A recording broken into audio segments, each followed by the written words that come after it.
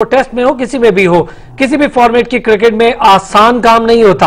और ये Australia New Zealand South Africa England तमाम तर बड़ी टीम्स के अगेंस्ट सीरीज़ जीती उसमें छोटी टीम्स भी शामिल हैं। लेकिन ये बहुत बड़ी बात है, सरफराज को एक क्रेडिट जाता है कि टी ट्वेंटी में सरफराज की टीम यूनिट के तौर पर खेल रही है। इस पर भी बात करेंगे। टी टेन लीग स्टार्ट होने जा रही है। टी टेन हर जगह आजकल उसकी बात हो रही है।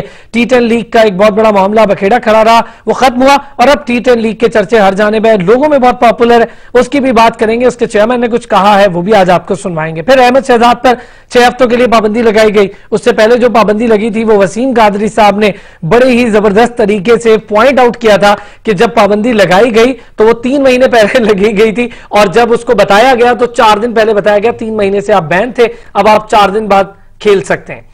इस पर भी बात करेंगे नजम सेठी साहब और एहसान मानी के दरमियान कुछ मामला चल रहे हैं। लीगल नोटिस भिजवाया गया किन बुनियादों पर भिजवाया गया क्या वजूहत है आ, उस पर भी आज बात करेंगे। वसीम काजी साहब हमारे खबर गुरु स्पोर्ट्स एनालिस्ट हमारे साथ मौजूद है। नाजरीन आप भी हमें कॉल कर सकते हैं। हमारा नंबर अब से कुछ ही देर के बाद आपकी स्क्रीन पर आ जाएगा। मैं फिर भी दोहरा देता हूँ। Zero five one eight four triple six zero three और ज़ीरो फाइव वसीम कादरी साहब मैंने सोचा कि बहुत सारी चीज़ें तो हैं आज और बड़े मज़े मज़े की बातें।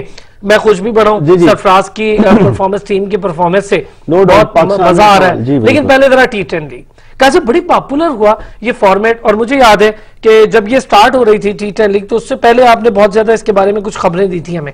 आपने बहुत सारी चीज़ों का ज़िक्र किया था कि आगे जाके ये होने जा रहा है और मुझे बड़ी बात है ये मैं कि हमारे प्रोग्राम के तवसत से वो खबरें बाहर आई। उन्हीं पॉइंट्स पर एहसान मानी साहब को क्लियरेंस करनी पड़ी कि इन इन पॉइंट्स पर हमने इन्वेस्टिगेशन भी की, इस पर बात भी की। देखिए अरसलान, एक चीज़ ट्रुथ है कि क्रिकेट में जो चार्म है, वो इसमें एक्टिविटी से है, इसकी एक्टिव परफॉर्मेंस के साथ है। और जब इसकी इस एक्टिव परफॉर्मेंस को अगर आप मजीद बेहतरी की तरफ़ नहीं लेके जाएँगे तो डेफिनेटली इसका वो जो चार्म का लेवल है वो एक जगह तक स्टेबल रहेगा।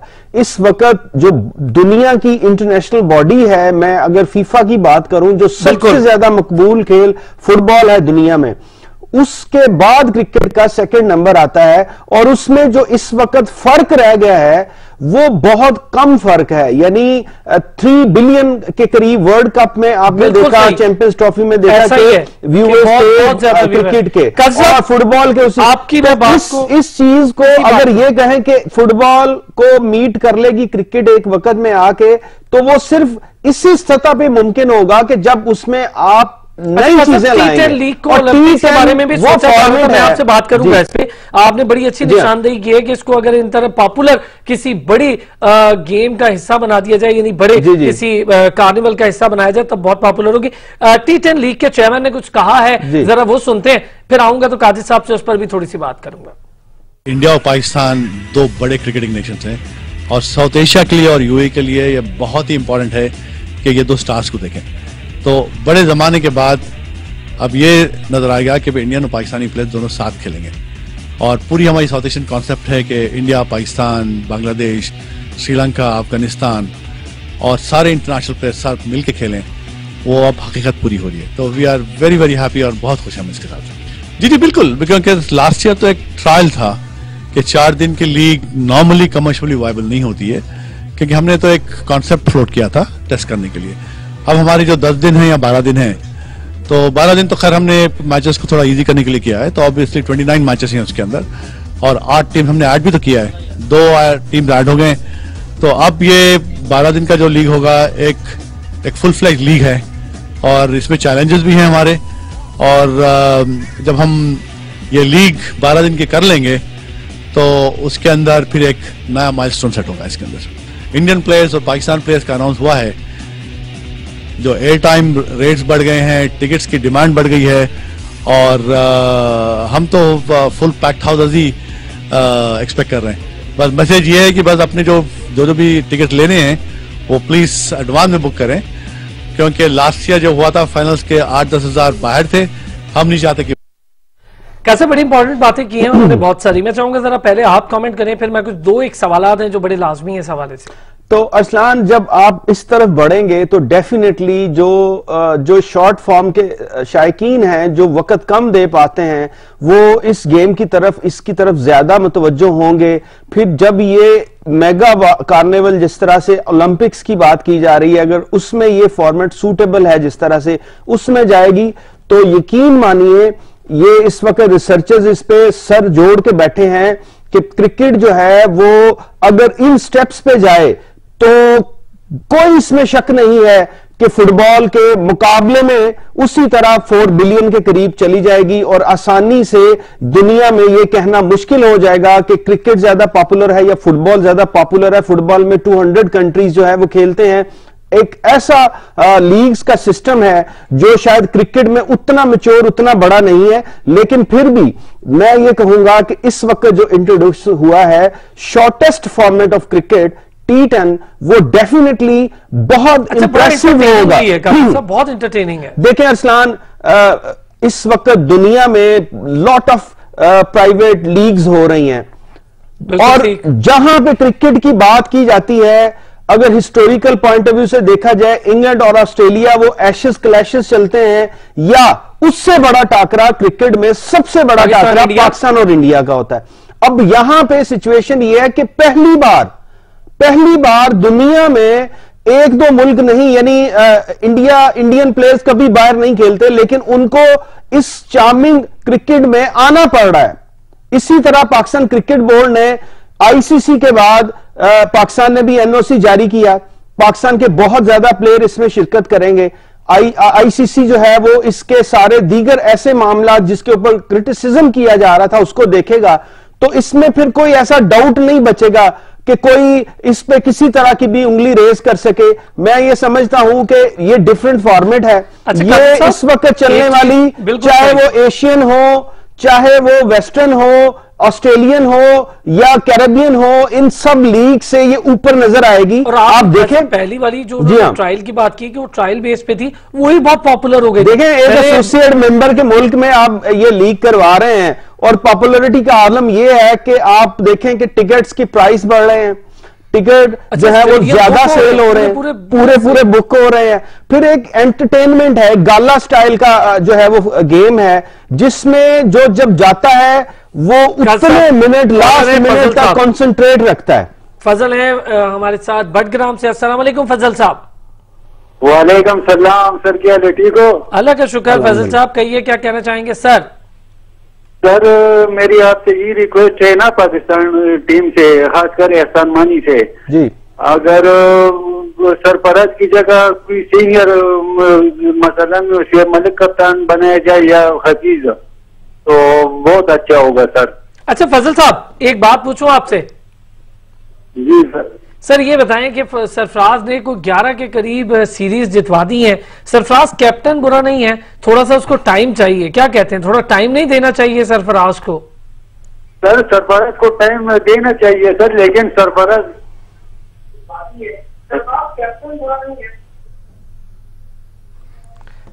अच्छा ठीक है जी, आप अच्छा कॉल जो कर रहे हैं, हमारे कॉलर्स चाहे वो रेगुलर हो रेगुलर कॉलर्स को तो पता है, लेकिन आप तमाम तर लोग अपने टेलीविज़न की आवाज़ अगर बंद रखेंगे तो आपकी आवाज़ हमें भरपूर आएगी, और अगर आपने ये प्रोग्राम दोबारा देखना है, अपनी आवाज़ फिर से देखनी है तो आप इंटरनेट पर भी देख सकते हैं हमारी website S T V dot P K काजे साहब। मैं आपसे ये पूछना चाह रहा हूँ शॉर्ट लिमिटेड ओवर्स क्रिकेट और उसके भी limited edition T ten cricket अगर ये तर्ज की क्रिकेट को स्पोर्ट्स के सबसे बड़े गाला अगर मैं कहूँ ओलंपिक्स तो गलत नहीं है स्पोर्ट्स के बड़े तरीन गाला में अगर डाल दिया जाए तो आपको लगता है कि ये फिजिबल होगा, ये ये ये वाला जो फॉर्मेट है, और वहाँ बहुत जल्दी भी गेम्स खत्म होते हैं तो लोग इंटरेस्ट भी लेंगे। देखें अरसलान मसला ये है कि ये इस वक्त 10 से 12 मुल्कों के दरमियान आप क्रिकेट को खेल रहे हैं और क्रिकेट का जितने इंटरनेशनल जो मैचेस हैं वो बड़े शॉर्ट फॉर्म में हैं। और जहाँ तक अगर लीग्स की या क्वालिफाइंग राउंड्स की बात की जाए तो उनको कौन देखता है? वो किसी जगह लाइव भी नहीं नशर हो रहे होते। ये एक फैक्ट है।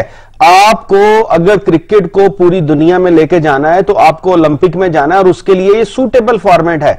और ओलंपिक्स में जाने का मतलब यह है कि 200 प्लस कंट्रीज़ तक क्रिकेट की अप्रोच देना। बिल्कुल सही। एक इसका सबसे बुनियादी मकसद ये होगा कि जिस तरह इंटरनेशनल जो है स्पोर्ट्स का चार्टर है, वो जिस तरह से आईओसी को सपोर्ट उसमें मिलती है और फिर जिस तरह से उनके बहुत मेगा प्रोग्राम्स होते हैं प्रमोशन के लिए गेम्स के रिलेटेड और फिर आप उसमें जाने के साथ साथ आप बहुत सारे नए लॉज अडॉप्ट करते हैं। अभी यहाँ पे उस तरह के लॉज अडॉप्ट नहीं किए गए। रिसेंटली ये दो तीन साल से आप देखेंगे डोबिंग के इश्यूज़ के ऊपर आए हैं। फिर अब जिस तरह की सिचुएशन इस वक्त नज़र आ रही है कि किसी को बॉलिंग के किसी लॉ पे एतराज़ है, किसी को किसी तरह के फील्डिंग के कोई प्रीव्यू के इश्यूज़ हैं, आपको पता है बहुत सारी चीज़ें डिस्कस होती रहती हैं फ़ील्ड में। तो जब ये सारी चीज़ें आप जब ओलंपिक में जाएँगे तो ओलंपिक की जो इंडिपेंडेंट बॉडी होगी, जिसको वोट करते हैं 200 से ज़्यादा मुल्क वो एक प्रॉपर डेमोक्रेटिक वे में आपके सामने आता है जिसमें बिल्कुल ऐसा नहीं होता कि बीसीएससीआई डिमांड करे कि मुझे ज़्यादा फंड चाहिए क्योंकि मैं तगड़ा हूँ या मेरे पास फाइनेंसेस ज़्यादा है या मेरे पास ब्रॉडकास्टर ज़्यादा है। ऐसा नहीं है। बहुत कम है बिल्कुल ना होने के बराबर है। और फिर वोटिंग का ऐसा स्ट्रक्चर है कि अरसलान आपने माजी में भी देखा कि बड़े बड़े सुपर पावर जो है वो घुटने टेक जाते हैं नॉर्मल मुल्क जो है। वो होस्ट करता है और दुनिया को जो है वो एक नई राह दिखाता है कि ये देखें इस तरह से होस्टिंग की जाती है इंटरनेशनल मुकाबलों की। तो ये एक फैक्ट है कि वहाँ पे इसमें एक तो मेरिट आएगा। एक क्रिकेट में जो दुनिया बुरी में डिमांड की जा रही है मतलब आप देखें कि सौ साल गुजर गए। जो प्रीमियर क्रिकेट काउंसिल बनाई गई थी उसने जो अमेरिका के साथ किया अमेरिकन टीम के साथ किया कि आज सौ साल बाद वहाँ पे क्रिकेट उस लेवल पे वापस नहीं आ पाई। खत्म हो गई। खत्म हो गई। तो इस तरह की जो चीज़ें हैं वो डेफिनेटली उस वक्त ही जो है वो कंट्रोल की जा सकेंगी जब उनके ऊपर एक इंडिपेंडेंट बॉडी होगी। अब देखें दुनिया में जितनी फेडरेशन हैं ये आंसरेबल हैं आईओसी के। बिल्कुल ठीक। लेकिन वहाँ क्रिकेट है ये इंडिपेंडेंट है सब कुछ खुद करती है। हाँ अब चूँकि प्रोफेशनल बॉडीज आ गई हैं तो वो उनको प्रेशराइज करती हैं फीका यहाँ पे भेजे प्लेयर यहाँ ना भेजे ये टीम ये पॉलिटिक्स ये पॉलिटिक्स बॉडीज हैं जी हाँ लेकिन वो प्रेशर ग्रुप्स बन गए हैं। तो इसमें अगर मेरिट लाना है तो उसका एक वाहद ज़रिया है कि आप ओलंपिक में जाएँ और ओलंपिक में जाने के लिए वो बड़ी सबसे ज़्यादा इंपॉर्टेंट में ये बात बताई है वो शॉर्टेस्ट फॉर्म ऑफ़ क्रिकेट है। ये फुल ऑफ़ एक्टिविटीज़ है। यानी ऐसे है कि 90 में 90 मिनट का जब आप देखेंगे गेम फुटबॉल का तो उसमें आप देखेंगे किस तरह मूवमेंट चल रही होती है। आपकी गर्दन भी एक जगह पे टिक नहीं पाती जैसे नज़र। तो ये ज़रूरी हो गया है अब तो ये भी मिनट्स में एंड हो जाएगा जी बिल्कुल। देखिए इस वक्त आईसीसी सदियों से सालों से इस चीज़ पे गौर कर रहा है जो इंटरनेशनल बॉडी के थिंक टैंक्स हैं कि किसी तरह से हम इसमें बेहतरी से बेहतरी लाएँ। ये कलर्स का आना। वाइल्ड क्रिकेट में कलर्स का आना भी तब्दीली थी। बॉल्स में डे नाइट आपने क्रिकेट को लेके जा रहे हैं। आप टेस्ट को बचाएँ इसमें कोई शक नहीं है। उसमें भी बेहतरी लानी चाहिए। लेकिन अगर ये कहें कि टी टेन जो है वो किसी और को जो है वो पहुंचाएगा ऐसा करेगी ऐसा कुछ नहीं है। टी टेन की फॉलोइंग बढ़ेगी इंटरनेशनल क्रिकेट की फॉलोइंग ये बातें तो आपको याद होगा जब टी ट्वेंटी आ रहा था तब भी गई जा रही थी कि ये नुकसान होगा ये तो चलती है लेकिन इस इसी बुनियाद पे एहसान मानी को भी तनकीद का निशाना बनाते हैं। हालाँकि अभी उनको आए हुए कितने दिन है और उन्होंने जो चीज़ें खुद करनी थी वो भी क्रिकेट कमेटी के स्पुर्द कर दी मैं मैं मैं मैं मैं मैं आता हूँ। आपने बड़ी अब डिटेल वाली बात शुरू कर दी है। काजी साहब सबसे पहले जरा हम थोड़ा सा अपनी जो फतुहात है जरा उस पर ना बात कर लें। फिर जरा इस पे आगे जाते हैं। बिल्कुल काजी साहब सरफराज के हवाले से मैं और आप ये कहते रहे कि अच्छा लड़का है बहुत स्ट्रांग माइंडेड है अच्छा है, चीज़ों को बेहतर तरीके से देखता है, उसको वक्त देना चाहिए, उसको थोड़ा संभलने का मौका देना चाहिए और उस पर प्रेशर थोड़ा कम करना चाहिए। अच्छा प्रेशर कम करने का मैं नाजीन आपको एक बार फिर ये क्लियर करूँ, हमारा मकसद ये है प्रेशर कम करना सरफराज से। सरफराज एक पोटेंशियल कैप्टन है, उसकी स्किल्स का इस्तेमाल होना चाहिए वनडे और टी ट्वेंटी में बहुत ज़्यादा।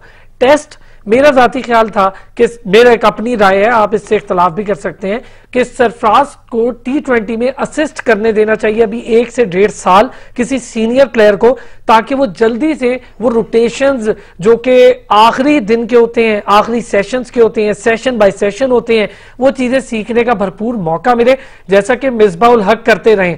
अच्छा अरशद साहब हमारे साथ कॉलर है जी जी। कॉलर ले लू फिर मैं जरा आपसे इसी पर डिटेल आपकी पूरी जानता हूँ। अरशद साहब असला वालेकुम सलाम सर मैं शरजीत के हवाले से बात करना चाहता हूँ।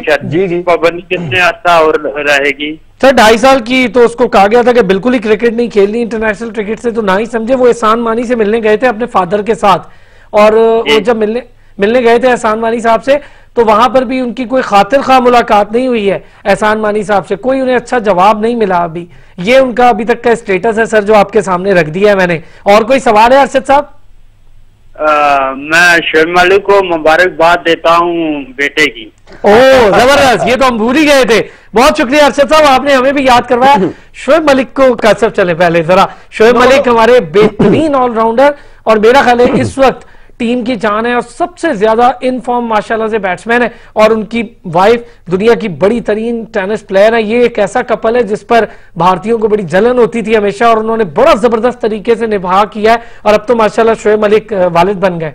अरसलान अ, ये एक गुड न्यूज़ है डेफिनेटली हम भी कंग्रेचुलेट करेंगे अरशद साहब का शुक्रिया। को। अरशद साहब ने याद करवाया। उन्होंने याद कराया लेकिन एक चीज़ तो तय है कि अगर ये कहा जाए कि आज मतलब 24 घंटे के अंदर अंदर वो अपने मतलब नौमलूद बच्चे को छोड़ के टीम को ये बड़ी बात है, काजी साहब, बहुत मतलब मैं इस चीज़ को देख रहा हूँ कि जो टीम के लिए उनकी तवज्जो है वो उसका लेवल देखें क्या है। वो और अपने ये- मुल्क ये किस लेवल पे सोच ये रहे हैं। और फिर आप इसमें देखिए कि कोई कंट्रोवर्सी नज़र नहीं आई है। मतलब मैं सानिया के भी स्पोर्ट्समैन स्पिरिट को जो है वो फुली सपोर्ट करूँगा उन्होंने भेजा। उन्होंने खुद कहा कि नहीं आपका फ़र्ज़ है आप जाइए तो ये बड़ा एक अच्छा एक चीज़ सामने आई है। और ये उन इंतहा पसंदों के मुँह के ऊपर एक स्लैब है कि जो अगेंस्ट बोलते थे इन कपल के इनको बाहर से तो बड़ी सारी बातें करते थे है। लेकिन इसमें कोई शक नहीं है कि शोएब मलिक ने किसी भी कंडीशन में किसी भी सिचुएशन में आप देखें कि पूरी की पूरी जूनियर लाइनअप डिस्टर्ब हो चुकी हुई थी। मुझे याद तो जिस तरह से उन्होंने बैकअप किया में वन एंड ओनली बंदा जी हाँ, जो स्कोर कर रहा है। सरफराज से सीनियर होने के बावजूद उसे support करते रहे। कर रहे हैं। सपोर्ट करते रहे असिस्ट करते रहे। तो ये एक बड़ी डेवलपमेंट है चूँकि आप सरफराज की बात कर रहे हैं तो मैं चाह रहा हूँ मैं उसमें भी थोड़ा सा ज़रूर, दूँ। देखें एक बड़ी क्लियर फॉर्म है। मैं बहुत पुरानी परफॉर्मेंसेस के ऊपर तो मैं नहीं जाना चाहूँगा। मैं सिर्फ़ अभी इस वीक के उन सच 70 ट्वीट्स की बात करूँगा जो इस वक्त एक जगह पे जमा किए गए और उनसे आउटकम्स लिए गए। जो इंटरनेशनली बहुत सारे क्रिकेटर्स के थे कुछ सीनियर जर्नलिस्ट के थे। तो उसमें इस वक्त ये कहा जा रहा है कि अब तक अब तक जितनी भी यानी न्यूजीलैंड है ऑस्ट्रेलिया है या श्रीलंका है या इंग्लैंड है इन सब टीमों के कैप्टन से ज़्यादा मेच्योरिटी ज़्यादा अच्छे डिसीज़न जो हैं वो सरफराज ने दिए हैं। और अंदाज़ा नहीं कर सकते कि और न्यूजीलैंड ने बड़ी एफर्ट किया। की भी बात है। जी हाँ। सरफराज के कल ये कॉर्नर है। ये बड़ा अपनी जगह पे लेकिन जो अच्छी और बेहतर प्लानिंग की बातें हैं उसमें हम सपोर्ट करते साहब हैं। हमारे साथ सलाम साहब है। अस्सलाम वालेकुम वालेकुम सलाम। सर कहिए क्या कहना चाहेंगे? सर अभी जो एक भाई ने कॉल किया था ना वो क्या नाम था? फजल नाम था कि क्या नाम था उसका? जी जी। सर उसने ठीक कहा ना कि सरफराज की जगह जो है ना उसे मलुक को कप्तान बनाना चाहिए। और जी जी। हेलो? जी जी सुन रहे हैं। जी सर उसके ब- बाद से मैं इतफाक करता हूँ ना कि सरफराज की जगह जो है ना हफीज या शेख मलिक को कप्तान बनाना चाहिए। क्योंकि वो दोनों सीनियर प्लेयर है ना? जी, जी। और मेरे ख्याल में सरफराज को टेस्ट के टेस्ट क्रिकेट टीम का कैप्टन बनाना चाहिए। ठीक है। मोहम्मद सलाम साहब ठाकुर से हमारे साथ है। बहुत शुक्रिया आपका। आपका सवाल भी हमारे पास आ गया। आरिफ साहब हैं भक्कर से। अस्सलाम वालेकुम आरिफ साहब। सर क्या हाल ठीक हो? अल्लाह का शुक्र। कही आरिफ साहब क्या कहना चाहेंगे सर? सर सबसे पहले तो मैं शुएब मलिक और सानिया मलिक को मुबारकबाद देना चाहता हूँ। बिल्कुल जी बिल्कुल सानिया मलिक। अच्छा है अच्छा है बहुत सर और तो ये बात कहना है पहले एक भाई कॉलर ने हमारे ने सरफराज के बारे में बात की है तो इससे अच्छा कप्तान हमें और आगे नहीं मिल सकता। जी जी। तो इस समय चैंपियन ट्रॉफी भी जिताई है। जी जी। और ग्यारह सीरीज़ ग्यारह सीरीज़ जो है ना एक साथ उसने जीती है। बिल्कुल ठीक बात है। बिल्कुल ठीक बात इससे अच्छा कौन सा कप्तान मिलेगा? अभी टी ट्वेंटी में इतनी बड़ी टीम है आगे। हम्म, हम्म। ऑस्ट्रेलिया हो गया न्यूजीलैंड हो गया इससे अच्छी कौन सी टीम है जिनको वो हरा रहे हैं? बिल्कुल ठीक बिल्कुल ठीक। मेरे ख्याल से तो वर्ल्ड कप तक तो यही रहना चाहिए ना। बिल्कुल ठीक है हम भी ये कहते हैं ना कैप्टनसी से वनडे और टी ट्वेंटी से तो हमारा बिल्कुल कोई इख्तलाफ नहीं है और ना होगा बल्कि टेस्ट से भी नहीं है। बहुत शुक्रिया आरिफ साहब भक्कर से थे हमारे साथ रावलपिंडी से कॉलर है अब्दुल्ला। अस्सलाम वालेकुम अब्दुल्ला। जी वालेकुम सलाम। कहिए सर क्या कहना चाहेंगे? सर आपने टी ट्वेंटी लीग के बारे में कहा था तो मैं ये टी ट्वेंटी लीग के बारे में ये कहना चाहता हूँ कि टी ट्वेंटी लीग को आप प्रमोट तो कर रहे हो लेकिन ये टेस्ट जो टेस्ट हमारी क्रिकेट होगी ना वो बहुत ज़्यादा उसकी व्यूज़ कम हो जाएँगे। अच्छा अब्दुल्ला मैं आपसे एक, एक सवाल है मेरा आपसे। आप ठीक कह रहे हैं? ये बहुत सारे लोगों के खदशात है। मैं आपसे एक छोटा सा आपको एक एनालिसिस भी दे जब आपको पता है टी ट्वेंटी आ रहा था तो बड़े बड़े कैप्टन जिनमें रिकी पॉन्टिंग भी शामिल थे, वो भी इसकी मुखालिफत करते हमें किसी टाइम पे दिखाई दी, उन्होंने कहा, नहीं आनी चाहिए टी ट्वेंटी लीग लेकिन अब इस वक्त मजबूरी ये है कि अगर आपको क्रिकेट को प्रमोट करना है तो उसमें कोई नई चीज़ लानी चाहिए। टेस्ट अपनी जगह है, और टेस्ट अब पिंक बॉल से भी आ गया है। और मैं आपको बताऊँ, अभी भी जो क्रिकेट देखने वाले लोग हैं, वो कहते हैं, जिसने टेस्ट नहीं खेला, वो प्लेयर नहीं है। तो टेस्ट की अहमियत अपनी जगह है। क्या कहते हैं, अब्दुल्ला? सर आपकी बात ठीक है टेस्ट की अहमियत अपनी है बट आप ये भी तो देखें ना कि अभी लास्ट टाइम जो मीरपुर में टेस्ट मैच हुए थे इंडिया वर्सेस विंडीज और अभी पाकिस्तान वर्सेज सॉरी क्या नाम है? खेले हैं अभी। जो ऑस्ट्रेलिया के साथ पाकिस्तान खेला है। ऑस्ट्रेलिया के साथ पाकिस्तान जो खेला था तो आप देखें क्राउड और व्यूज़ उसमें देख में व्यूज़ यूट्यूब में व्यूज़ नहीं है तो आप खुद ही अंदाज़ा लगा लें मैं आपकी इस बात से मुत्तफिक हूँ अब्दुल्ला कि हमें क्राउड बढ़ाने के लिए अब ये मामला आईसीसी का है। शुक्रिया अब्दुल्ला आपके इस इस सवाल को मैं आगे ज़रूर बढ़ाऊँगा क्योंकि टेस्ट बड़ी अहम है क्रिकेट के लिए बल्कि क्रिकेट क्लासिक्स और बेसिक वो टेस्ट है। कादिर साहब पहले जरा टीम ने बहुत अच्छा परफॉर्म किया बहुत अच्छा परफॉर्म किया अभी रिसेंट दो सीरीज़ में। एशिया कप की मैं बात इसलिए नहीं करूँगा हम उसको निकाल देते हैं हम उस पर कर चुके हैं बात। वो जो कुछ हुआ हाँ। वो आपने बहुत अच्छे से डिटेल बयान किया वो हमने देख लिया। इस वक्त टीम बड़ी अच्छी मुतहद लग रही है। एक बड़ी खुशी की बात है कपल ऑफ़ मंथ्स यानी दो मंथ्स की मैं बात करूँ। मोहम्मद हफीज की परफॉर्मेंस का ग्राफ बहुत बड़ा है। उसने एक कम सेंचुरी से किया टेस्ट में 2016 में टेस्ट खेला दो साल के बाद टेस्ट में आए उन्होंने सेंचुरी के साथ स्टार्ट किया। उसकी रीजन कैसे सरफराज का उन पे कॉन्फिडेंस है और फिर उन्होंने सरफराज को जिस किस्म का कॉन्फिडेंस अपनी परफॉर्मेंस से दिया फिर आप देखें ये टी टी ट्वेंटी जो हो रहे हैं हाँ। इन टी ट्वेंटी की कंजेक्टिव तमाम मैचेस में हफीज फोर्टी। फोर्टी प्लस रहा है। जी हाँ। इसमें कोई शक नहीं है मोहम्मद हफीज सीनियर प्लेयर हैं। तारीख में उनका नाम अगर बेस्ट ऑलराउंडर्स में गिना No जाए तो ये तारीख जानती है कि वो कई सालों तक टॉप फाइव में रहे हैं। शायद अफरीदी से अक्सर टाइम वो ऊपर रहे हैं ऑलराउंडर्स में। तो ये हमें भी इन चीज़ों को देखना चाहिए सर हमें भी इन चीज़ों को सोचना चाहिए। जैक हाँ। कैलिस से भी ऊपर है एक टाइम पे देखें अरसलान मैं मैं तो उस वक्त भी देख रहा था परफॉर्मेंस और उस वक्त भी इनकी जो है वो क्रिकेट के साथ इनकी खास किस्म की जो मोहब्बत है उसका सबूत आपको याद होगा कि जब ये as a captain T twenty format में इन्होंने खुद रिजाइन कर दिया था कि मेरी परफॉर्मेंस शायद बेहतर नहीं थी इसलिए मैं रिजाइन कर रहा हूँ। तो ये चीज़ें बड़ी पॉजिटिवली लेनी चाहिए।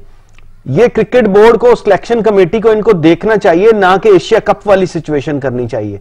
एशिया कप में जो किया गया, वो बड़ा अफसोसनाक था। हम इतने वर्ष पोजीशन पे कभी ना जाते अगर मोहम्मद हफीज या एक दो और सिलेक्शन में बेहतर सिचुएशन आपके साथ होती। आपने एक विनिंग कॉम्बिनेशन था, दुनिया ने उसकी तारीफें सालों करते रहे। सालों उसकी तारीफें करते रहे उसका खौफ दुनिया की टीमों पे सालों कायम रहा बिल्कुल ठीक। पाकिस्तानी टीम का जो आपने चैंपियंस ट्रॉफी में परफॉर्म किया लेकिन आपने ये समझ इसका कोई जवाब ना मिला है ना कोई दे रहा है ना कोई शायद देने के मूड में भी नहीं है ना कोई लेने के मूड में है। मैं सोच रहा था कि वर्ल्ड चैंपियन कैप्टन जो प्राइम मिनिस्टर भी है पैटर्न भी है क्रिकेट बोर्ड का शायद वो थोड़ा सा टाइम निकालेगा और पूछेगा कि ये वजह क्यों हुआ? एशिया आसान मानी कम है। खुद आईसीसी के टॉप एग्जीक्यूटिव तो आपको आप मुझे बताएँ कि उन्होंने उस उस, मामले पे कोई कमेंट किया हो? एक कमेंट मुझे दिखा दें। वैसे तो 50 चीज़ों पे कमेंट किए हैं। अब तो फॉर्मर जो चेयरमैन क्रिकेट बोर्ड थे, उनके आने जाने के, खाने पीने के सारे खर्चे भी बाहर आ गए चाहे वो इन्होंने खुद नहीं किए, ना इनके हुक्म पे आए हैं, लेकिन जो एक्सेस टू इंफॉर्मेशन के जो लॉ को कह रहे हैं कि हम उसको ओबे कर रहे हैं और इंफॉर्मेशन सबको पास ऑन कर रहे हैं, ये बड़ी बड़ी खुशाइन बात है लेकिन ये बात अपने पे भी इंप्लीमेंट करें। बिल्कुल अपने गवर्निंग बोर्ड पे भी इंप्लीमेंट करें। उनको मीडिया से टॉक करने की इजाज़त दें। ये अवाम का राइट है उनसे पूछें कि क्या बात हुई है। असल बात बताएँ प्रेस रिलीज़ ना दें। प्रेस रिलीज़ में वो नुकते होते हैं जो आप लोगों को बताना चाहते हैं अपनी वाह वाह सुनना चाहते हैं। आप वो चीज़ें बताने की इजाज़त दें उन्हें कहें कि जी आप मीडिया से फ्री हैं, आप बात कर सकते हैं, लोग आपसे कुछ पूछे, आप उस पर बता सकते हैं। अब तक को तो यही सिचुएशन चल रही है कि कोई कमेंट नहीं करेगा, कोई अंदर की बातें बाहर नहीं बताएगा। जब नहीं बताएगा तो फिर सोर्सेज से आएँगी, बातें वही होंगी, छुपी छुप तो सकती नहीं है। ये चीज़ें सामने आनी आनी है। नजम सेठी ने कितनी उस दौर में वो पाबंदियाँ थी कि जो गवर्निंग बोर्ड के मेंबर्स थे, वो बात नहीं कर पाते थे। आपको याद होगा कि एक पूरे इजलास में ठीक ठाक किस्म की अजीब तरह की सिचुएशंस होती थी। एक में कहा जाता था कि ऐसे करते हैं, एक फंड रख देते हैं। जो जो पार्लियामेंटेरियंस हैं, यानी जो गवर्नमेंट सिस्टम के लोग हैं, हम उन्हें अब्लाइज करते हैं। फिर एक रखते हैं कि कुछ फंड हम गवर्निंग बोर्ड के लिए अपने लिए भी रखते हैं। बड़ी इंपॉर्टेंट तो जब ये चीज़ें सारी मुझे होती थी फिर बाहर भी आती थी। ये ठीक है मुझे एक ब्रेक पे जाना है और ये जो चीज़ें जिनका आप ज़िक्र कर रहे हैं ये नजम सेठी साहब के और फिर एहसान मानी के दरमियान जो लीगल नोटिस वाला मामला है उससे बहुत ज़्यादा